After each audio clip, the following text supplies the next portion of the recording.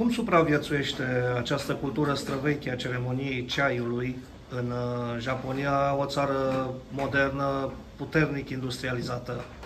えー、と現代の日本は、まあ、日本は技術とかさまざ、まな工業を考えると進んでいる国ですけどこの伝統的な佐渡というのはどうやって生き残ってますか難しいなえーっと今現在はあ学校小学校中学校に茶道教室があって、えー、そこでもう学校の教育として教えています În prezent există cursuri de ceremonia ceaiului la școala primară și la gimnaziu.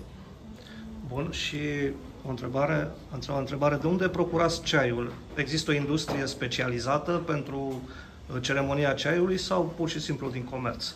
えーと、佐渡に使われるお茶はどこで購入されますか？特別なお茶でしょうか？普通のお店で買えるお茶でしょうか？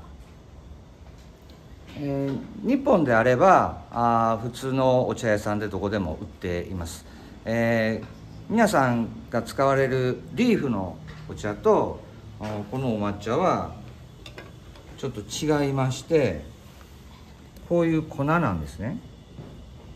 でこれはお茶を石臼で引く。分かりますかね？石臼で引いてで粉末にしたものを使っています。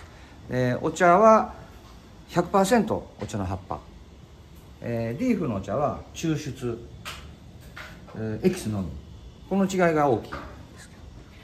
În general se folosesc magazinele specializate pentru ceai.